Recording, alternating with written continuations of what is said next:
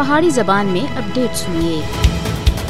भारत जेर तसलुत जम्मू कश्मीर दुनिया का बदनसीब ख़िता है जिथे इंसाना की चोखरा थी भी बदतरीन सूरत हाल है। भारतीय हिंदू इंतहा पसंद हुकूमत अपने गासब व जाबर फौज के ज़रिए रियासती हुरियत पसंद अवाम उत तारीख के बदतरीन मजालम करवा रही है। जिसकी मिसाल नाजिया और तातारियाँ के दौर जबर विच भी मिलनी मुश्किल है। मकबूजा रियासत जम्मू कश्मीर विच गासब भारतीय फौज की तरफों होना वाली कार्रवाइया को बैन अवी कानून के मुताबिक जंगी जराइम नाल किया जा सकता है। मोदी और उसके हवारी कश्मीरियों के खिलाफ जंगी जराइम के मुरतकब हर गुजरते ध्याड़े के नाल कश्मीरियों उत्ते मजालम और बरबरीयत वाधा होंदा जा रहा है जिस सोन भारत की नाम निहाद जमहूरीयत का सरेआम जनाजा कर दिता है जंगी जराइम मुलवस भारतीय दहशतगर्द फौजियाँ उत्ते बैन अवी अदालत इंसाफ विच मुकदमे चलाए जाने चाहिए जिन्हों कश्मीर इंसानियत को ताराज किया है कानूनी फर्म स्टोक वाइटसन बरतानिया थी आखिया है कि वो जंगी जराइम विच मुलवस भारतीय आर्मी चीफ और वज़ीर दाखिला को गिरफ़्तार करन